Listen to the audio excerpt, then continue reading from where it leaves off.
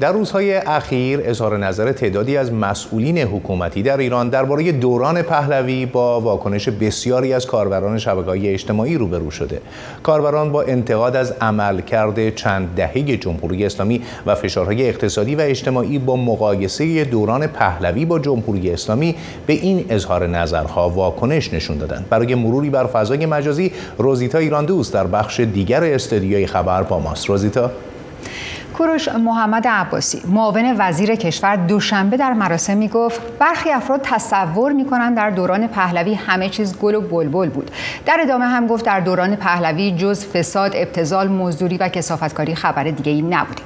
احمد خاتمی از طرف دیگه امام جمعه تهران هم گفته برخی دوباره می‌خوان تز رضاخانی جدایی دین از سیاست رو احیا کنند و در ادامه گفت برخی می‌گویند برای نجات روحانیت باید همه روحانیت مسئول از مسئولیت های خودشون کنار برن. برخی نمی‌فهمن چی میگن. همه کنار برن به این معناست که حکومت رو به دیگران بسپاریم و بگیم ما اهلش نیستیم. اما این بحث به پیشتر و زمانی که علی خامنه ای درباره دوران پهلوی نظر داد برمیگرده. در دوران حاکمیت فاسد و وابسته پهلوی سبک زندگی غربی در کشور بود.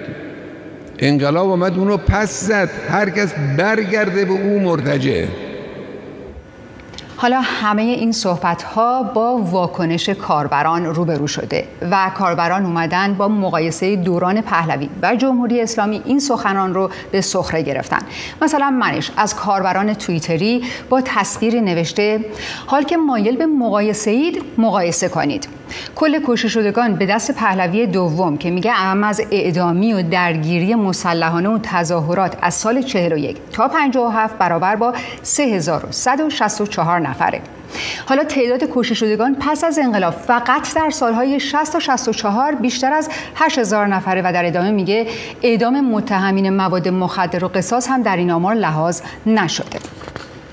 کاربر دیگه به نام پارسا میگه رضا چنان ریشه در سازندگی ایران نوین داره که حتی اگر ایران رو تخریب کنی باز هم نام او بر تمامی نقاط ایران حک شده.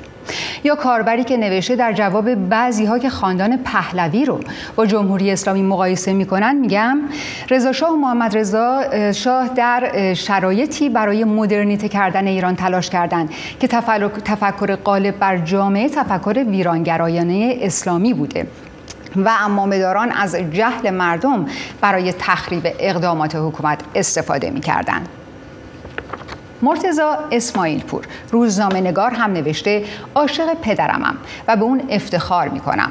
در جنگ ریههاش دچار مشکل شد. مرا بکشن دست از او نمی‌کشم. حالا تصور کنید سربازان خمینی و نوچگانش که در سال 57 شورش کردن میگن شاهزاده رضا پهلوی به پدرش پشت کنه. شاه فقید افتخار بودند و ما فرزندان نادیده شاه فقیدیم و ما فرزندان شاه سربلندیم.